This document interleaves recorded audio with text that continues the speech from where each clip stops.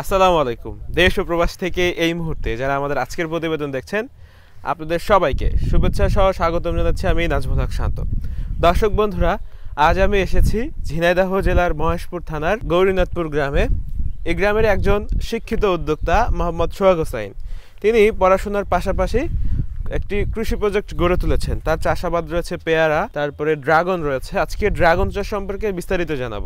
শুরুটা হয় মাত্র পনেরো কাঠা জমি দিয়ে। এখন প্রায় চার বিঘার মতো ড্রাগন চাষ রয়েছে। কীভাবে শুরু করলেন এই ড্রাগন চাষ? এই শিক্ষিত উদ্যোক্তা পড়াশোনা করে, চাকরি না করে কেন চাষাবাদে আসলেন? বিস্তারিত আজকের প্রতিবেদনে থাকছে। চলুন বন্ধুরা, তার এই ড্রাগন চাষ সম্পর্কে আজকে বিস্তারিত জেনে আসি।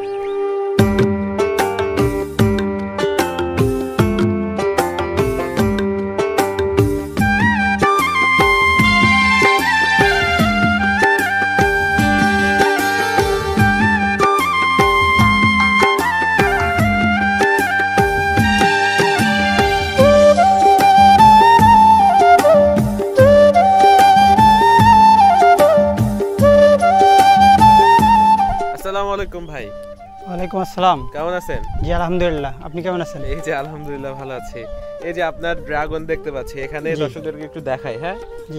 আমরা একা দেখব না দর্শকরা দেখলে জাস্ট অবাক হয়ে যাবে হ্যাঁ? একটু কাছ থেকে দেখাই যে এইখানটাতে দেখেন দর্শক কতগুলো ড্রাগন ধরে আছে। আমি এইখানটাতে গুনবো শুধু। এক দুই তিন চার পাঁচ ছয় সাত আট নয় দশ এগারো বারো তেরো চোদ্দ পনেরো ষোলো সতেরো আঠেরোটা। এইখানে আঠেরোটা ড্রাগন ধরে আছে এই জাস্ট এতটুকুর মধ্যে। জি। ঠিক না? এখানে কত কেজি ড্রাগন হবে? একটু সামনে আসেন। এখানে যদি চারটা কেজি হয় তাহলে কমপক্ষে পাঁচ কেজি পাঁচ কেজি পাঁচ কেজি ড্রাগন আছে এখানে। পাঁচ কেজি ড্রাগনের বর্তমান বাজার মূল্য কেমন পাওয়া যাবে? বর্তমান বাজার মূল্য চোদ্দশো প্লাস কম বেশি হতে পারে বাজার। পনেরোশো টাকার ফল আছে দর্শক। জি এখানে পনেরোশো টাকার ফল আছে। পনেরোশো টাকার ফল আছে। তো ড্রাগন চাষ হচ্ছে সবচাইতে লাভজনক চাষ বর্তমান সময়ে বাংলাদেশে। নিঃসন্দেহে বলা যেতে পারে দ্বিধাদ্বন্দ্ব না রেখে ড্রাগন চাষ সবচেয়ে লাভজনক এবং সবচেয়ে ব্যয়বহুল চাষ হচ্ছে ড্রাগন চাষ। এটাতে যেমন খরচ আছে ঠিক তেমনই লাভ আছে। আচ্ছা ভাই আপনার কত বিঘা জমিতে চাষ আছে? আমার এখন বর্তমানে চার বিঘা ড্রাগন আছে। চার বিঘা ড্রাগন আছে।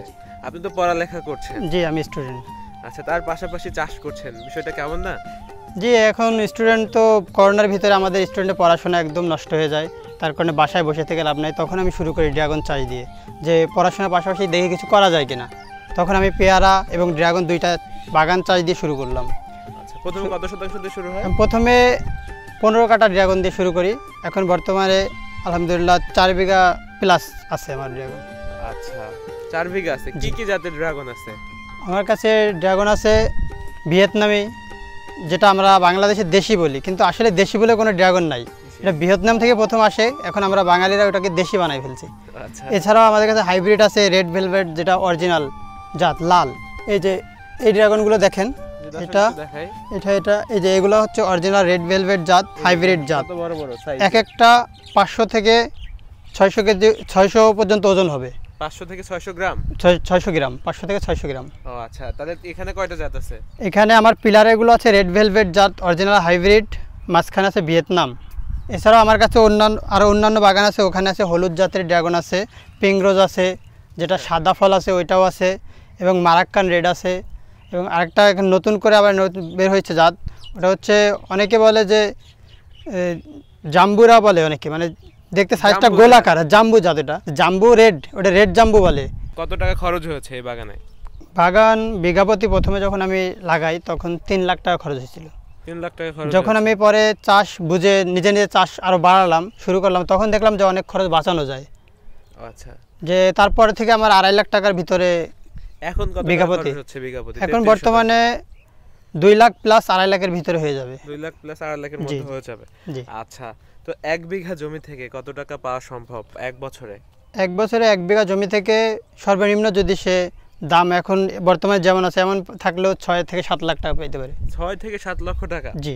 বাংলাদেশে আর কি কোনো চাষে সম্ভব এটা? না না আর কোনো চাষে এত অল্প সময়ে এত লাভজনক চাষ আর নাই। ও আচ্ছা। তো আমরা একটি ড্রাগন কাটবো কেটে দেখব এর স্বাদ কেমন আপনার এই যে ড্রাগন বাগানের? হ্যাঁ ড্রাগন কাটি আপনারা খান পাকা দিয়ে কাটি তাই তো? এই যে দর্শক। এই যেটা অনেক লাল পরিপূর্ণ পাকা আছে। মানে আপনি খুব এক্সপার্ট কাটার দিক থেকে। জি এই যে সবসময় তো এই কাজই করি। এখানে রাখেন দর্শক এই যে আমরা এখানে রাখব। নেন এবার এখানে কাটেন। এই যে কাটারটা আমার হাতে দেন। এই যে কাটারটা এখানে রাখি। দর্শক এই দেখেন একটু কাছ থেকে দেখাই। জি দেখেন। এটা- কি জাত? এই যে কাটতেছি। এটা হলো জাম্বু রেড। জাম্বু রেড। জি এটা ফলটার ওজন অনেক হয়। একটা ফলের সাইজ পাঁচশো গ্রাম প্লাস থাকে। এই যে দেখেন ভিতরে দেখেন কত লাল। দেখছেন? দর্শক দেখতে পাচ্ছেন? একদম লাল। একেবারে মানে লাল এবং হচ্ছে আপনার চামড়াটা খুবই জি চামড়াটা একদমই খুবই পাতলা এই যে। এই যে দর্শক দেখতে পাচ্ছেন?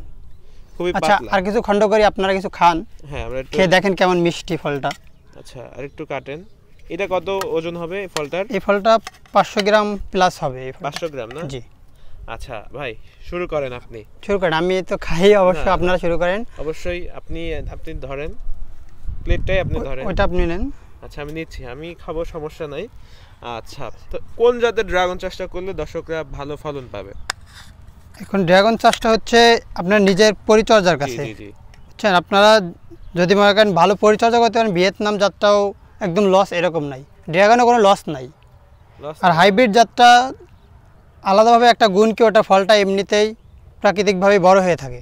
যার জন্য আপনার এটা বড় করার পিছনে অনেক সময় লেগে থাকতে হয় না বা বাড়তি কোনো ট্রিটমেন্ট বেশি করা লাগে না।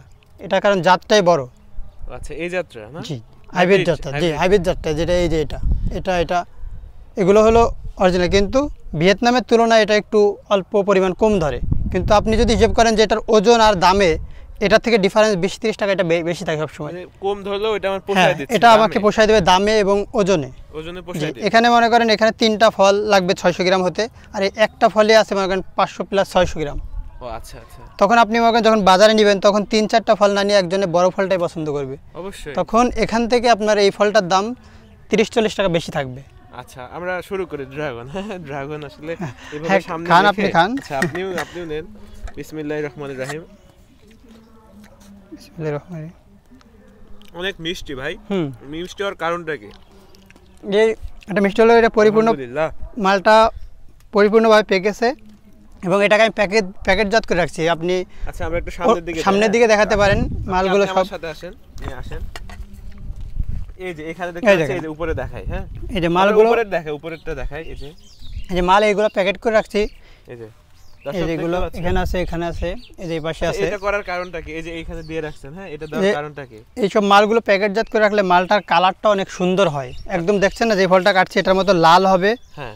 মানে পুরোটাই একভাবে পাকা এবং রোদে রোদ- রোদের তাপ ডাইরেক্ট লাগতে পারে না এটাতে।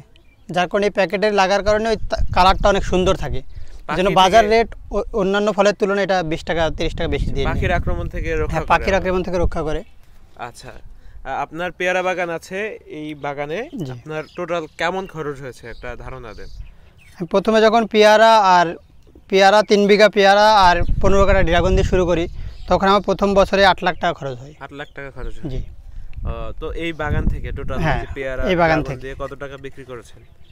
পেয়ারা বাগান থেকে আমার ওই আট লাখ খরচে ড্রাগন আর পেয়ারার আট লাখ টাকার খরচ উঠে গেছে শুধু পেয়ারা থেকেই। পেয়ারা থেকে হ্যাঁ আর এই ড্রাগন থেকে এই বছর আমি মনে করেন এই পনেরো কাটা থেকে পাঁচ লাখ মতো বিক্রি করা হয়ে গেছে। পাঁচ লাখ টাকা? জি আরও যে ফল আছে ইনশাল্লাহ আরও মনে করেন দেড় লাখ টাকা আশা করি আছে ফল আছে। এত টাকা বিক্রি করেছে জি জি। পনেরো কাঠা জমি থেকে পাঁচ লক্ষ টাকা বিক্রি পাঁচ লক্ষ টাকা বিক্রি করেছে এখনও এক লক্ষ টাকার আশা করি ফল হবে এটা অবিশ্বাস্য ব্যাপার আবার অবিশ্বাস্য ব্যাপার চাষ করে এত টাকা ইনকাম করা মানে অবিশ্বাস্য ব্যাপার। ওই তো এই জন্য তো আমাদের আধুনিক যে চাষগুলো আছে ওইগুলোর উপরে আমাদের সবার মনে করেন ফোকাস দিতে হবে। আচ্ছা। চাষে একদম লস লস নাই। এখন বর্তমানে যে সিস্টেম বের হয়েছে অল্পতে মনে করেন লাভজনক চাষ করা যায়। ধান পাটের দিন শেষ ধান। ফলফুলালির বাংলাদেশ। জি জি। হ্যাঁ, ধান পাট করতেই হবে সমস্যা নাই ওইগুলা না করলে আমরা খাব কি? তবে ফলের চাষটা বর্তমান সময়ে বিগত পাঁচ ছয় বছরে ব্যাপক হারে হচ্ছে বাংলাদেশে এবং পুষ্টি চাহিদা ফলের যে পুষ্টি চাহিদা সেটা পূরণ হচ্ছে। জি জি। আচ্ছা দর্শকদের উদ্দেশ্যে আপনি শেষ যদি কিছু বলতেন। দর্শকদের উদ্দেশ্য বলতে চাই যে এখানে আসবে কীভাবে? হ্যাঁ এখানে আসতে হলে আপনারা আসবেন ঝিনাইদহ জেলার মহেশপুর উপজেলার আজমপুর ইউনিয়নের গৌরীনাথপুর গ্রাম। এই বাগানগুলো আপনারা এসে নিজেরাও ঘুরে দেখতে পারেন সবসময় খোলা থাকে। করতে পারবে। জি আসবেন আসলে ফল খেয়ে যাবেন দেখবেন। আচ্ছা দর্শক বন্ধুরা এই যে দেখতে পাচ্ছেন পাশে একজন শিক্ষিত উদ্যোক্তা। অনেকে পড়াশোনা করে চাকরির পেছনে ছোটেন সবার কিন্তু চাকরি হয় না সবাই দিন শেষে চাকরি পায় না। আমাদের হচ্ছে আদিম যুগ থেকে কৃষির উপর নির্ভর করে আমাদের সভ্যতা গড়ে উঠেছে। এই সভ্যতার পেছনে কৃষির খুব অবদান রয়েছে। শিকড়কে ভুলে গেলে চলবে না, কৃষিকে ভুলে গেলে চলবে না। তো এই কৃষিকে ধরে রাখতে হবে। এই কৃষিকে যে ধরে রাখতে পারবে, আধুনিক পদ্ধতি যদি অনুসরণ করে কেউ ধরে রাখতে পারে, তাহলে অবশ্যই সফল হবে। যেমনটা হয়েছেন এই যে সোহাগ সোহাগ আহমেদ যেমনটা সফল হয়েছেন। চাইলে আপনারা তার বাগান আসতে পারেন, তার নাম্বার দেওয়া আছে স্ক্রিনে এবং ডিসক্রিপশনে নাম্বার দেওয়া থাকবে। পাশাপাশি সে একটি ক্ষুদ্র নার্সারিও করেছে, চাইলে সেই নার্সারি দেখে ভিজিট করতে পারেন। যদি ভালো লেগে থাকে বাগান, তাহলে দেখবেন, তার থেকে পরামর্শ নেবেন আপনি চাষ শুরু করবেন। সবাই ভালো থাকবেন, সুস্থ থাকবেন, আসসালামু আলাইকুম। আপনার জন্য শুভকামনা। জি, আপনার জন্য শুভকামনা।